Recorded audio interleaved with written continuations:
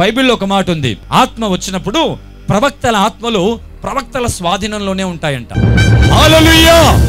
కాబట్టి సంగమా మర్యాద సంగమా క్రమముగా జరిగించండి క్రమముగా ఈ కార్యక్రమాన్ని ముందుకు నడిపించండి. దేవునికి స్తోత్రం కలుగును గాక నిన్నటి శుక్రవారం బలమైనటువంటి ఆత్మ చేత నేను నింపబడి ఎంతో మందిని తాకాను ప్రభు పేరట. ఎంతో మందిని మరి ఎంతో మంది మీద చేతులుంచి ప్రార్థించాను.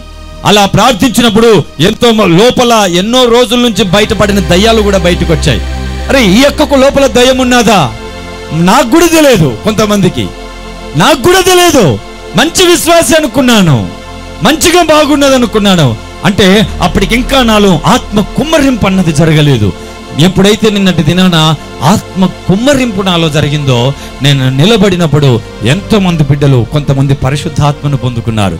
కొంతమంది అన్య భాషలు ఫేస్బుక్లో ఒక కుమార్తె చెల్లి కామెంట్ ఇచ్చింది.